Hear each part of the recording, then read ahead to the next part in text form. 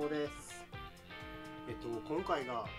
初めて YouTube に動画を上げようと思って撮ってる1本目の動画なんですけども、えっと、なんでまず上げようかその YouTube に投稿してみようかって思ったのがまああの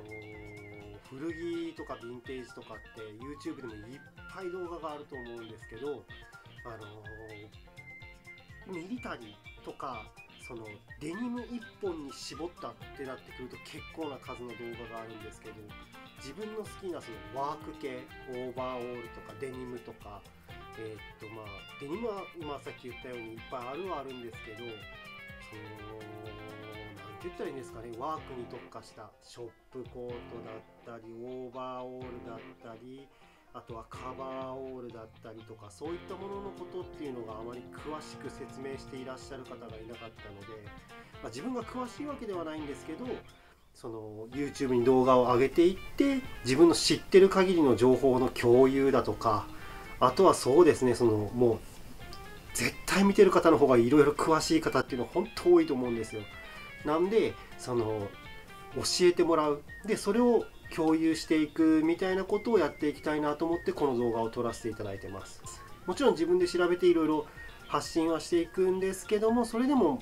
足りないとかいや違うよっていうことがあれば是非教えていただければ助かります。なんで自分が講師とかではなくて生徒なんです。わからないんですよ。意外ともう調べてもですね。で、えっと、今回第1回目として自分の知ってる古着に関して話していこうと思うんですけど1つ目がこのオーバーオールです。でオーバーオールに関してなんですけども、まあ、ワークウェアって言ったらそのデニムっていうことを除けば結構一番に頭にくる人が多いんじゃないかなと思います。でワークウェアオーバーオールなんですけどもこれ意外とですねなんか調べたところによるとあの1700年代ぐらいから実はあったそうです。一般的には結構そのゴールドラッシュのタイミングでカーハートとかそういったところがその作業用の服が今着ている服の上から着て服が汚れないようにするための、えーと、ズボンといいますかそういったもののために開発されてたらしいんですけどその1700年ぐらいの時っていうのが奴隷とかが着てたっていう話をちょっと見たんですよ。なんでまあワークウェアそうですね。奴隷は作業がメインにはなるでしょうけど奴隷が着てたってなってくるとちょっと不思議な感じがしますよね。まあそんな昔からあったんだっていう感じにもなりましたけど。でオーバーオールってなってくると結構いろんなディティールがあると思うんですよ。例えば色とかで言うんなら白デニム、えー、ダック生地でもいろいろありますしヒッコリーとかいろいろですね。でこれはその眉唾というか僕が行った古着屋さん30年ぐらいなんかワークウェアを結構メインにしてやってる古着屋さんの店主さんに聞いた話なんですけど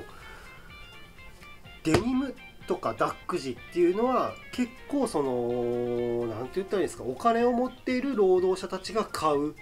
生地だったらしいんですよ。でじゃあそのお金を持ってない人たちが何を買うかっていうと白とかひっこりですね。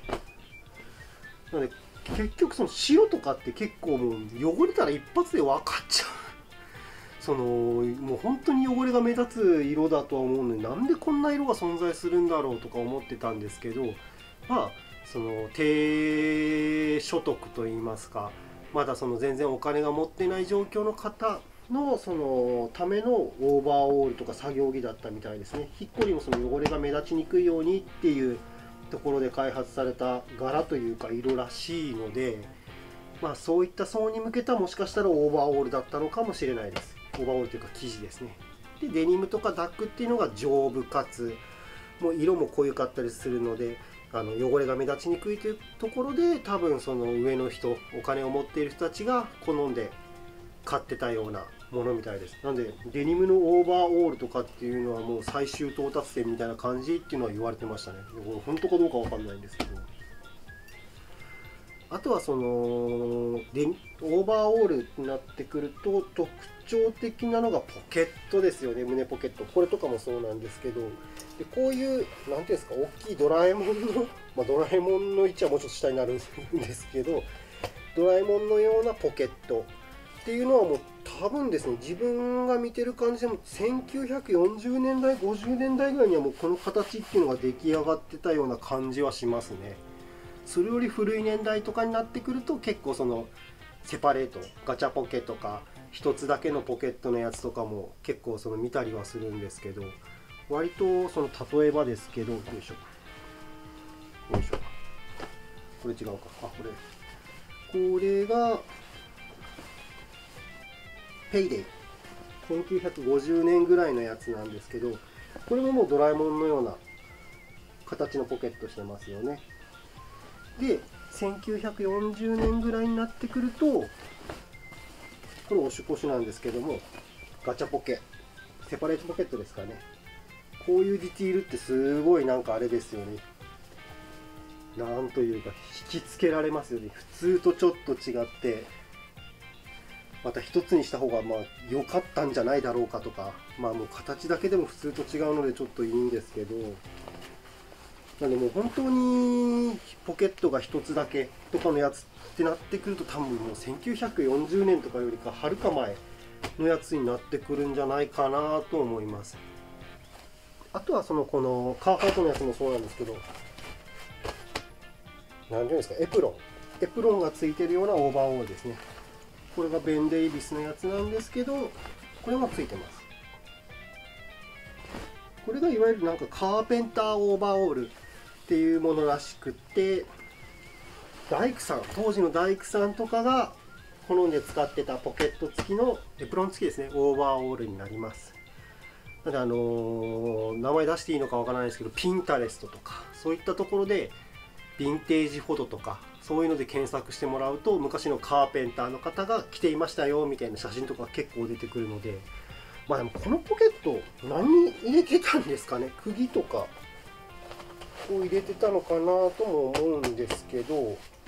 どうなんですかね？以上があのざっくりとした感じであるんですけど自分がある程度その知識として知っているオーバーオールに関することです。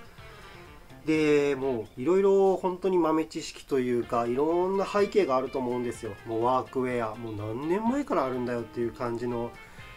その服の種類というかジャンルになるからですね。なんで自分が知らないこととかそのお前それ間違ってるよっていうところがあれば是非ちょっと教えていただきたいです。もうこの僕が今から作っていこうと思ってるチャンネルっていうのがそういう情報共有情報を教えてもらったという古着塾っていうところにはなってくるので是非皆さんにご協力いただけたら幸いです。まあ、あの今回そのオーバーオールに関してそのどのオーバーオールがいいとかそのこれがおすすめっていうわけではないので着用感とかサイズ感とか、まあ、そのコーディネートとか、まあ、コーディネートはもう本当に正直そのその人人が好きにやれば一番いいとは思ってるので。あまり上げようとか今後思ってはないんですけど、まあ、もしも見たいとかいう形が多いようであればちょっと頑張ってやってみようとは思います。えー、もうほんと1本目っていうことですごいこのカメラに向かって1人で喋るっていうのがすごい恥ずかしいというか緊張するような状況ではあるんですけどうーん頑張ってちょっと皆さんに楽しんでもらえるような少しでもためになるようなまあもう勉強になるだけの動画作っても面白くはないと思うのでなんかもっと楽しく学んでお互い教えて学び合えるような動画が作れたらと思いますので今後ともよろしくお願いします。これはコロナだからつけてるわけではなくてコロナが収束しても外しません。では今日はありがとうございました。古着屋軍曹でした。違う！古着塾！生徒軍曹でした。さようなら。